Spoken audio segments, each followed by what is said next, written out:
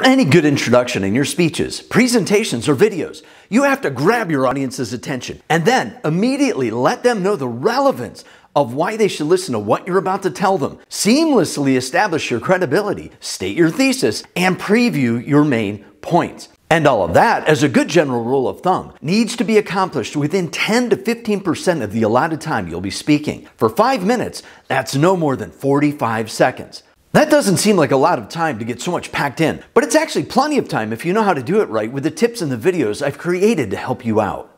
The purpose of this video is to show you how to create a concise relevant statement, to give your audience a good reason to listen to you, and show you how it helps to establish your credibility even when you think you have none.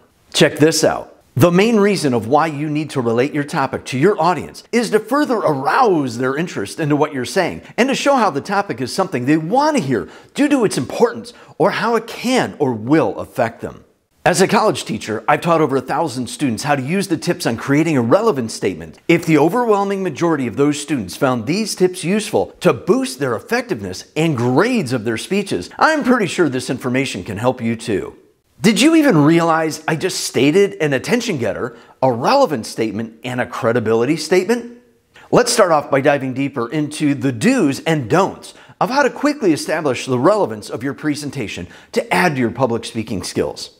Directly after you gain your audience's attention in less than 8 to 10 seconds, you need to reveal to your audience the relevance of the information, content, and or material you're going to tell them about and how it can or will affect them. You have to give someone a reason of why they should even listen to you. You need to create a desirable reason, or if possible, create an urgent sense of why your audience should care to listen to you.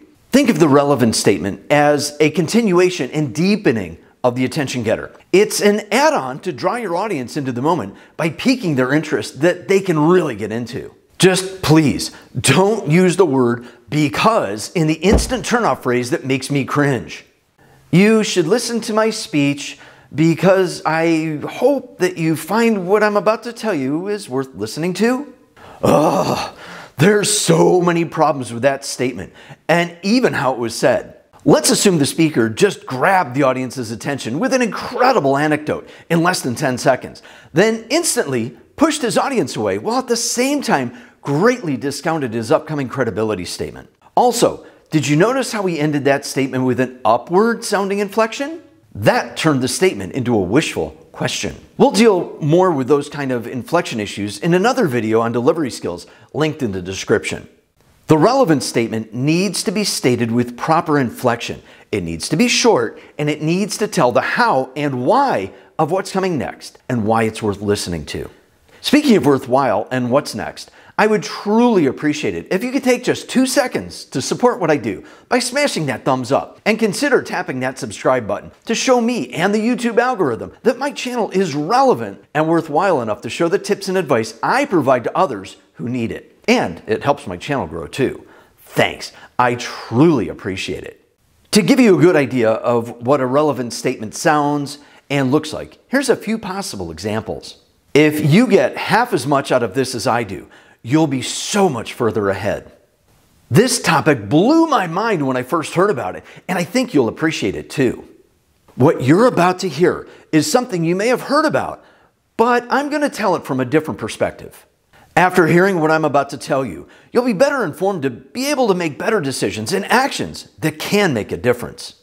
There's countless variations on how your relevant statement will sound, and it depends a lot on what your topic is, how you say it, your passion for the topic and the purpose of your presentation, whether it's to inform, persuade, entertain, or one of the other types of speeches that are discussed in the video on that topic, also linked in the description.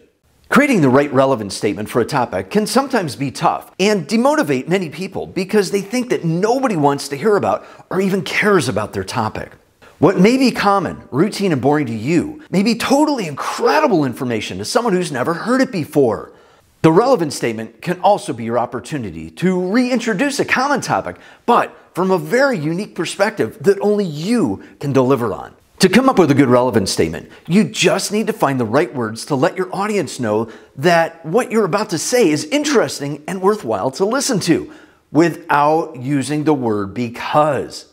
The few key takeaways in coming up with a good relevant statement are this. Always consider your audience and what effect your topic can or will have on them.